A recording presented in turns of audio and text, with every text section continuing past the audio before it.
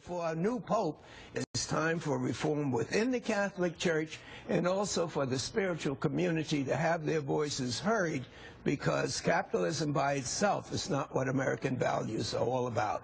Congressman Charlie Rangel, nice to see you, sir. Thanks for your time. Good to be back.